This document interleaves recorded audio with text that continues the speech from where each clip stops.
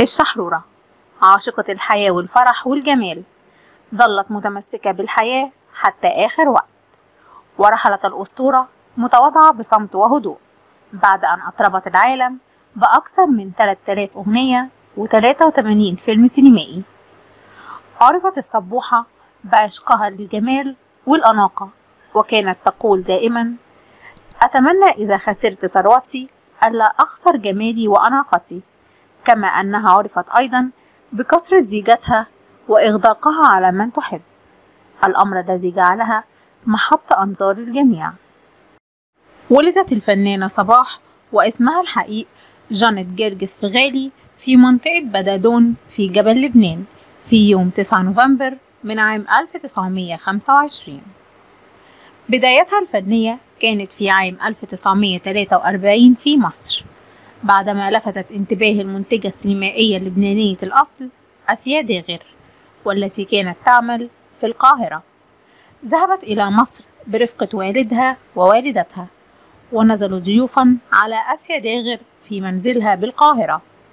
وتم تكليف الملحن رياض السنباطي بتدريبها فنيا ووضع الألحان التي ستغنيها. في تلك الفترة اختفى اسم جانيت وحل مكانه اسم صباح في فيلم القلب له واحد عام 1943 وهو أول فيلم سينمائي تظهر فيه وفيه غنت أيضا ألحان رياض السنباطي وزكريا أحمد وتوالت بطولتها السينمائية. من أهم أعمال الشحرورة صباح في السينما فيلم الرجل الثاني والأيدي الناعمة ليلة بكى فيها القمر شارع الحب. الحب كده هذا ما جاناه أبي باريس والحب نار الشوق الآنسة ماما. عانت الشحرورة صباح من إصابة ابنتها هويدا بأزمة صحية نتيجة إدمانها للمخدرات وذلك عام 2006 مما أجبرها على بيع بيتها والإقامة في الفندق وإدخال ابنتها مصحة في كاليفورنيا بالولايات المتحدة الأمريكية. وأفادت تقارير صحفية في مطلع عام 2009 أن صحة هويدا بدأت في التحسن وبالتالي قررت إعادتها لتعيش معها في لبنان. وكان الرئيس الليبي السابق معمر القذافي قد عرض عليها الإقامة في قصر فخم في ليبيا ولكنها رفضت مغادرة بلدها لبنان. ولذلك قرر شراء بيت لها في منطقة الحازمية بمبلغ مليون دولار. خلال مسيرتها الفنية قدمت صباح حوالي 85 فيلم مع كبار الممثلين منهم رشدي أباظة وأحمد مظهر ومحمد فوزي وفريد الأطرش. وقدمت أيضا حوالي 27 مسرحية لبنانية. أما أول الأغاني التي أطلقتها شعبيا هي يا هويدا هويدا لك ولها حوالي أيضا 3500 أغنية من بينها أغاني الأفلام والمسرحيات. وغنت لعمالقة العالم العربي. كما شاركت صباح في العديد من المهرجانات الدولية ووقفت على أشهر المسارح العالمية. ظهرت الشحرورة في لقاء في أواخر أيامها قبل وفاتها مع الإعلامي الشهير وائل الإبراشي وتحدثت عن حياتها الشخصية والفنية بلا حواجز أو حدود عن زيجتها وأصدقائها من الوسط الفني. وكان قد انتشرت أقاويل عن صباح سببت لها إزعاج حيث قالت أحدهم أنا لا أريد أن تكون نهايتي كنهاية صباح. لأنه ذكر أنها كانت تسكن في فندق في أيامها الأخيرة لأنها لم تكن تملك القدر الكافي من المال لشراء منزل.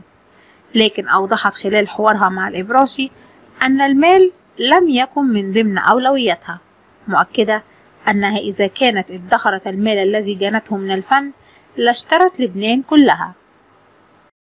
تابعت الشحرورة صباح حديثها عن أصدقائها في الوسط الفني وقالت فاتن حمامة أعظم ست في الدنيا فقد كانت تحبها جدا. وفي بداية فاتن حمامة نصحها الموسيقار محمد عبد الوهاب بالغناء إلا أن الشحرورة كانت ترى عكس ذلك ونصحتها بالتمثيل. أما عن السندريلا فقالت صباح سعاد حسني كانت فراشة حتى بعد أن ظهرت نجمات صغيرات ظلت محتفظة بجمالها. وكانت ترى أن السندريلا لم تنتحر وأنها ماتت مقتولة. أما عن زيجتها فقالت صباح لم أكن محظوظة في اختيار الزوج المناسب.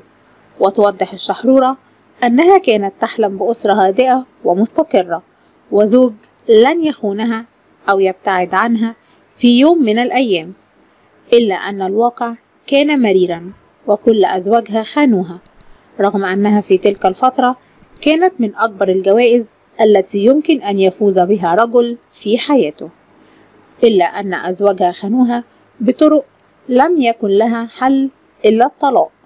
حتى رشدي أباظة الذي كانت تحبه وهو يحبها خانها أيضا وهي خانته. اشتهرت الفنانة صباح بتعدد زيجاتها والتي وصلت إلى تسع زيجات. وأوضحت شحرورة قبل وفاتها أنها رجعت لتعدد الزوجات بسبب خوفها من أن تعيش بمفردها وخوفها من شبح الوحدة. أول أزواجها كان نجيب شماس وهو والد ابنها الدكتور صباح شماس وقضت معه خمس سنوات. أما الزوج الثاني فكان خالد بن سعود بن عبد العزيز آل سعود وقضت معه عدة أشهر وحصل الطلاق بسبب ضغط من عائلته لتطليقه منها. الزوج الثالث كان أنور منسي عازف الكمان المصري ووالد ابنتها هويدا وقضت معه أربع سنوات. أما الزوج الرابع فكان أحمد فراج وهو مذيع مصري وقضت معه ثلاث سنوات. الزوج الخامس كان الفنان رشدي أباظة وقضت معه خمس شهور. الزوج السادس كان الفنان يوسف شعبان واستمر الزواج لمدة شهر واحد فقط ونفى الفنان يوسف شعبان هذا الزواج من الفنانة صباح. أما الزوج السابع فكان النائب يوسف حمود وقضت معه الشحرورة صباح سنتين. أما الزوج الثامن فكان الفنان وسيم طيارة وقضت معه أربع سنوات وهو فنان ومخرج مسرحي ارتبطت به عام 1973 وانفصلت عنه بالطلاق بعد خمس سنوات. وذلك بعدما اكتشفت خيانته لها مع عشيقة استأجر لها شقة. وتحولت قصتهم إلى فيلم ليلة بكى فيها القمر عام 1980 الزوج التاسع كان الفنان فازي لبنان وقضت معه الشحرورة صباح أطول فترة من بين كل من تزوجت منهم وهي 17 عام. توفيت الفنانة اللبنانية صباح في فجر يوم الأربعاء الموافق 26 نوفمبر من عام 2014 لمعاناتها من أمراض الشيخوخة بعد مشوار فني حافل وتاريخ طويل من محبة جمهورها لها.